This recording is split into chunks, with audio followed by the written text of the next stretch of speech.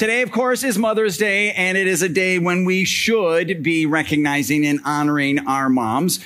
Uh, because after all, as it says in Proverbs 15, foolish children despise their mother. And we're not foolish, are we? We honor our moms. And rightfully so, because they are special.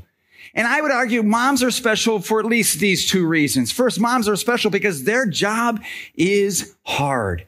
Being a mom is difficult. In fact, can you imagine what a posting might look like if you were trying to fill the position of mother out in the workplace? I mean, if there was a posting, uh, uh, you know, help wanted ad, what would it look like? It might sound something like this. Wanted, someone to be on call 24 hours a day, never have a day off, no sick leave, no paycheck, no pension, no promotions, must have infinite patience, excellent nurturing skills, boundless energy, and inexhaustible love. Plus, the applicant may be required to take on a second job to help make ends meet. Yeah, right? That, that, that's tough. It's tough being a mom. So moms are special because their job is hard. But moms are special, secondly, because their job is so important. Seriously, you know, moms are on the cutting edge of the people development business right? They are shapers of human beings. And moms, let me just tell you, the nurturing that you provide, the love that you offer, the encouragement that you give, the teaching you supply, the dreams you instill, the faith you help develop. That's incredibly important. Thank you. In fact, would you guys just thank moms right now? Let's just thank those moms. This, they do an amazing job. Based on at least those two reasons, though, my guess is that all of you here, all of you watching online right now, my guess is that you want not just your mom, but all moms to succeed. So to help with that, I'm going to share with you some of the more basic needs that a lot of moms have. And it's coming from this book. It comes from this book. This book came out a couple of years ago uh, from Elisa Morgan and Carol Kuykendall, What Every Mom Needs. And, and, and in this book, it doesn't give an exhaustive list by any means, but it provides us with some insights that I think can help us meet the basic needs of a lot of the moms here today. All right. And, and just to help you, when I share each of these needs, I have an object that I'm going to put up here as well, uh, just to help you remember what they are. All right. Now, here's the homework for moms. When you go home, I want you to look over that list and determine which needs are being met and which ones aren't. Dads, kids, the rest of you, we want moms to succeed, right? So I want you to look over that list as well and see which needs you could maybe help meet for the mom or moms, in some of your cases, in your life. For example, one basic need that many moms have today is the need for significance. And moms, let me just go on record and say that what you do is absolutely significant, is absolutely essential. You play a huge role in the physical, psychological, emotional, spiritual development of your kids. Author Linda Weber says it this way. Every problem solving, grocery shopping, homework helping, meal cooking, laundry washing, boo boo soothing, gift buying, shoe tying, fight breaking, carpooling mom has a strategic pivotal role in our society. It's a calling. It's a responsibility. It's an honor. And moms have every reason to feel good about who they are and what they do. And that is so true. So to represent this first basic need, I have this. a trophy. And I have this trophy because I think there are times when moms wonder, does what I do even make a difference? Right? Does it even count?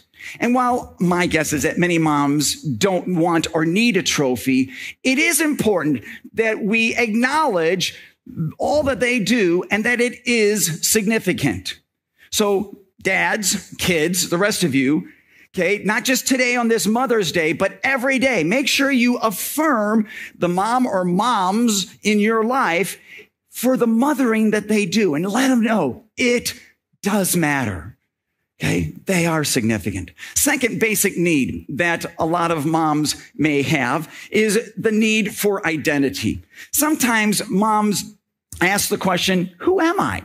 And they ask that question, especially when their kids are little, because then they can kind of lose their sense of identity, right? They're so wrapped up in raising their kids that by the time the kids then grow up and leave, they're like, well, I've been a mom all these years. Now what? Right? They've lost that identity. So to represent that, I have a fingerprint. Because dads, kids, it is really important for you to let the mom or moms in your life know that their value, their identity as a person is not just them as a mom. Right? Like a fingerprint, they are unique individuals masterfully created by the God of this universe. A third basic need that many moms have is the need for growth. Moms can become so busy nurturing their children that they can put their own personal growth and development off to the side and ignore it. And, and I'll tell you right now, if you don't keep growing and developing, you'll become stagnant and uninspired. And moms, that's not good for you. It's not good for your family. So to represent that, I have this healthy growing plant. And dads, kids, in a very gentle, loving way, let me just challenge you to encourage the moms in your life to see the need, to continue to grow, to see the need for them to continue to develop and become the person that God has made them to be. A, another a basic need that many moms have is the need for intimacy. And by that I mean moms want to be accepted and understood. Okay. They, they, they do. And especially when they have younger preschool age kids. In this book, the authors say it this way. Intimacy is being understood. It is not being judged for what you did wrong this time. It is not being told what you could do differently next time. It's not being corrected, interpreted, or fixed. Intimacy is being understood. Sometimes when you don't even understand yourself. So moms need intimacy in the sense that they need to be able to talk through what they've gone through talk about it with somebody else. And yes, sometimes that can be the husband. The husbands can certainly understand, but I also think it helps to have maybe another woman, another mom. And so to represent that, I have these two coffee mugs just to represent the value of sitting down with another person who can get what you as a mom are going through and understand you. Okay. Just to do life at a deeper level. So moms, please see the need to have this, this intimate, deep relationship with at least one other person who can listen to you and understand you. All right. A fifth basic need for many moms is a need for instruction. Many moms, uh, many women, when they get into the mothering process, don't have a clue what it means to be a mom. They don't know what their marriage should look like. Uh, they don't know how to manage their time or stay on top of their finances. They may not even understand their value and identity as a woman. And when they become moms, there's just a whole slew of questions right? When, you know, how do I get my little one to sleep through the night? You know, how, when they get a little bit older, how do I deal with temper tantrums? And when they get into school, how much screen time is too much? And what about sibling rivalry and conflict? And when they get into high school, how much independence do you give them? And how do you deal with rebellion? Right? The list just goes on and on and on. So to represent this particular need, I have a cell phone because my guess is that, and not to dial 911, but my guess, my guess is that moms, you know of several other godly Christian moms who have been there, done that, right? In your circle of friends, you might know somebody like that. And if so, just understand what you were going through, another mom has already gone through. So give them a call and, and continue the instruction, the importance of just learning from these other moms who've been around the block. How do you do this? Right? Ask for guidance and input and, and insight and wisdom. It just makes life that much easier for you. All right. Sixth, a sixth need that many moms have is the need for help. And moms, please do not feel like it's wrong or bad to ask for assistance. It's not wrong or bad to ask for help. And to represent this, I have a life preserver. As I'm sure there are times, right? But it refers to somebody who's willing to throw out a lifeline to you as a mom, especially when you feel like you're drowning in everything you have to do. And, maybe an example of a lifeline that some other moms can provide for you is you getting together with moms of small children and, maybe saying, Hey, you know what? If I babysit your kids tonight, would you be willing to babysit my kids another night? Right? There's no money exchange. You just kind of, you know, have this agreement. Or maybe you can ask your husband to do something um, that you know you used to do that you know is easy for him to do. Or, maybe you ask a neighbor or uh, maybe a, a, an extended family member. Maybe you even ask your kids if they're old enough to help. The point is, don't be afraid to ask for help. Right? Don't be afraid to ask for help, and and uh, um, make sure that you you uh, take time to do that. And moms, I'm sorry, dads and kids, I don't, I should not have to tell you always be looking for those opportunities to help the mom or moms in your life. All right. Number seven, seventh basic need that many moms have is the need for recreation because moms need time for themselves too. Problem is that they are so used to putting the needs of everybody else first that they feel guilty if they take time for themselves. And, and moms understand taking a break is not selfish. It's self-preserving. If, if, you don't take a break, those moms who don't take a break, for those moms, it, the, the, the worry, the stress, the exhaustion can be overwhelming. Okay. So to represent the need to take a break, I've got a book. And, and it doesn't have to be a book. It could be a set of golf clubs. It could be a tennis racket. It could be a bike. It could be, you know, exercise. Uh, you could sign up for a sports league or take up a hobby. It doesn't matter. It doesn't matter. A book fit. That's it. Okay. It doesn't matter. What matters is that you moms take time for yourselves because it's good for you and it's good for your marriage and your kids, right? All right. And an eighth basic need that many moms have is a need for perspective. Uh, sometimes the demanding little details of life can crowd out the big picture.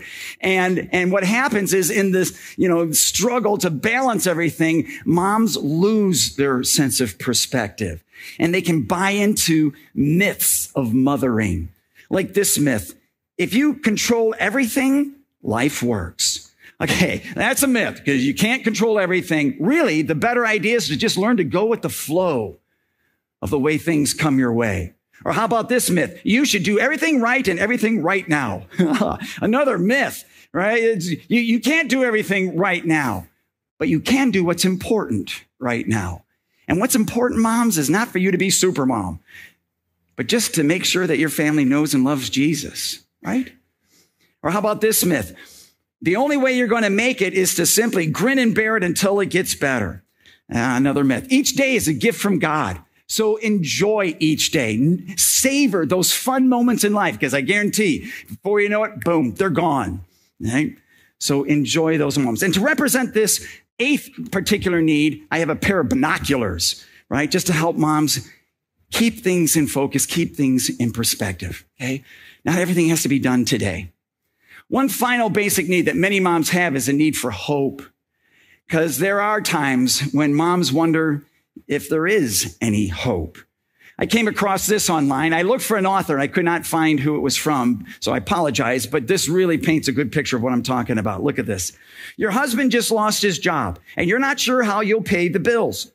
Your mother is sick and needs you, but you have two little ones who also need you. You're pregnant again and wonder in your heart whether you can cope with another child. Your marriage is stale and cold. You, your best friend is moving far away and you wonder how you'll make it without her. Your house is a mess and falling apart. You feel like you can't do it anymore. Life isn't turning out like you expected and there's not enough of you to handle it. Moms, at those moments, you need hope. And I'm here to tell you, hope is available. And to represent that, I have this. It's a cross the cross of Jesus Christ. And of course, that hope isn't just for you moms, it's for all of you. True lasting hope is found in Jesus, the God of the universe. Here's what's really cool. All of these basic needs that I just talked about, God provides an answer for every single one in his word.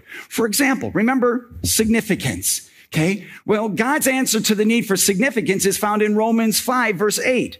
God demonstrates his own love for us in this. While we were still sinners, Christ died for us. That is how much you matter to God. You are so significant to him that he was willing to come to this earth, become a human being and die for you. to die to pay the punishment that you deserve for everything you've done wrong.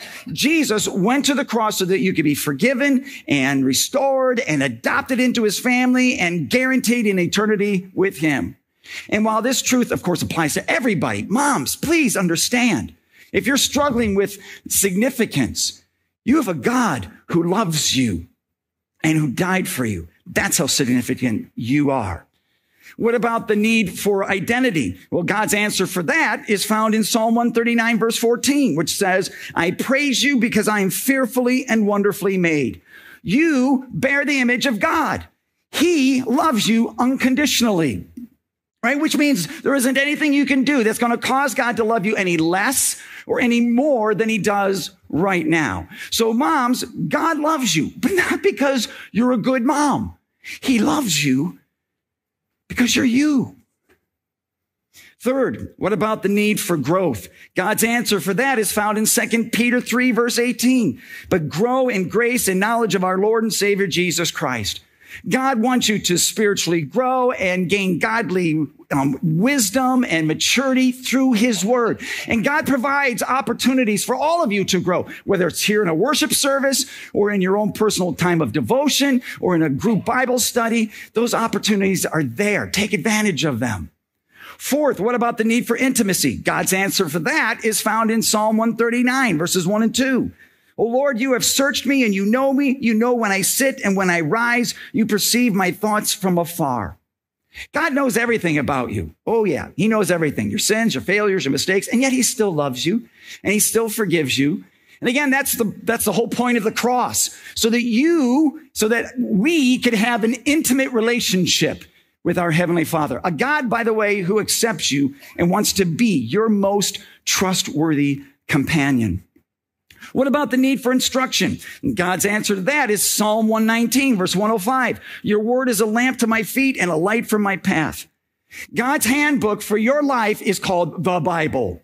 And that book can inform you and train you and instruct you and guide you in everything that you need to do to succeed here in this life, including being a mom. What about the need for help? God's answer for that is in Philippians 4. I can do everything through Christ who gives me strength. God is always available with the help that you need when you need it. Right. So if you need, you know, patience, sometimes you need that. If you need stamina, if you need courage, if you need comfort, if you need direction, God will always be there to give you that help. What about recreation?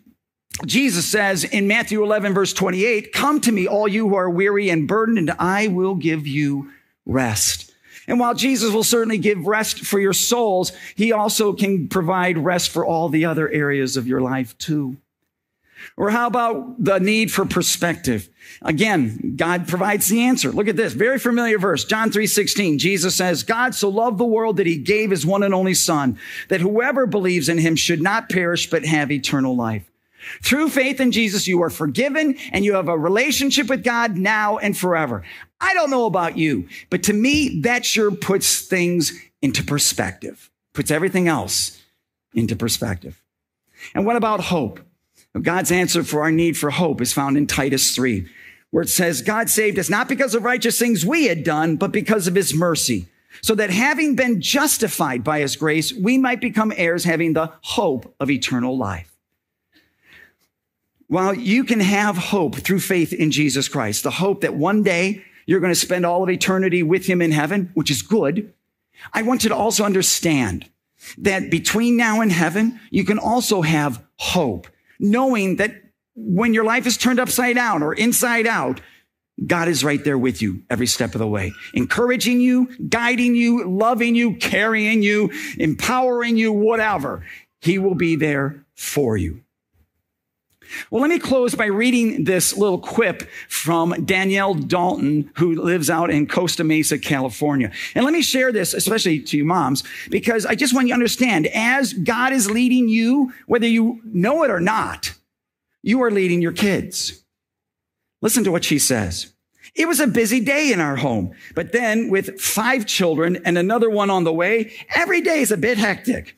On this particular day, however, I was having trouble doing even routine chores, all because of one little boy. Len, who was three at the time, was at my heels no matter where I went.